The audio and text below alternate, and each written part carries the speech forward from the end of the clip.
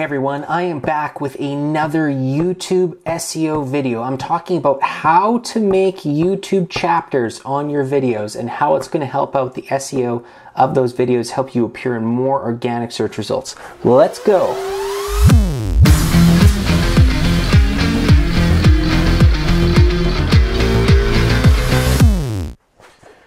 Hey guys, my name is Jared VanderMeer and I make digital marketing tip and a lot of search engine optimization tip videos right here on YouTube.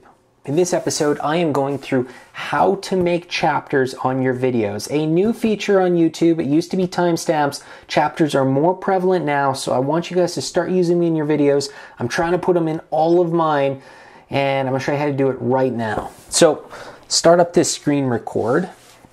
I am going to go into one of my recent videos that's coming out in the next couple days, which is does billboard advertising make sense? Explanation with math. Now, I use this video for doing another video about YouTube tags using TubeBuddy to come up with the tags properly. I will put that in the cards above right now.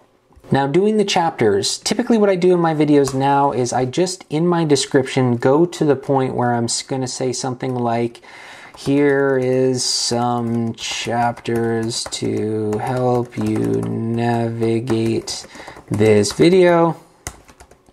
And then I just go right into it. Now, the mistake I see a lot of people make when they're putting in the timestamps into their descriptions is they miss one feature, and that is the 0.00. And always with the 0.00, I always just use something from the title of my video and something from the tags so that when it's merged together, kind of like regular SEO, when you have your page title and your meta description and the descriptions in your actual page, when they're cohesive and using the same words, it helps out. And I think it works the same with YouTube. I have created and corrected and it's made a massive difference as soon as I started doing this.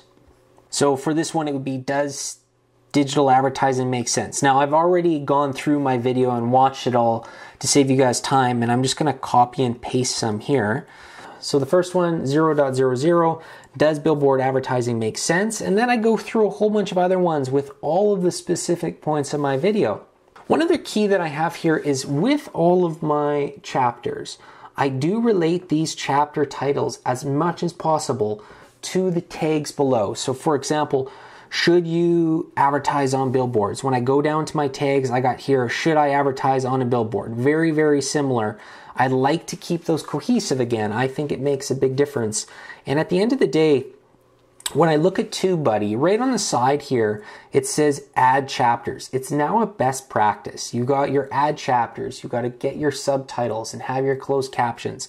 You want to make sure you're doing all your tags and that your title is optimized. And when you factor all of those things in, all of those best practices help you appear higher in specific searches. I want to give you guys one last example here in this episode. I think this is a pro tip, it's going to help you guys. This is just an example of what's happened since I've started using chapters. So if I go to one of my other videos, saving that one ready to go out tomorrow, one of the recent videos I put out that's ranking well right now, the next big platform. If I click on it, I recently added chapters to this videos. I didn't launch it with chapters.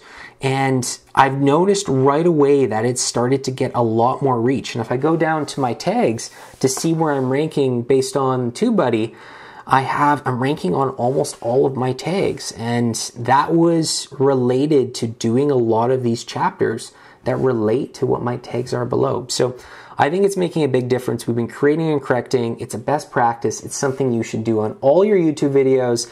I think it's going to make a huge difference. I want to keep this episode short and sweet. Don't want to take any more of your time. I want you guys to go to your videos and start doing these chapters. Remember, 0.00 starts it so that you don't wonder where your chapters are once you launch your videos. And I also talked about TubeBuddy a lot in this episode. Don't forget, I'm going to put the links below of anything I always talk about in my videos. I'll put the TubeBuddy link below. It's helped me out a lot to understand more YouTube SEO, so it may help you guys as well if you want to check it out. That's it for this episode, guys. I can't wait to see you guys in the next one. That's all for now.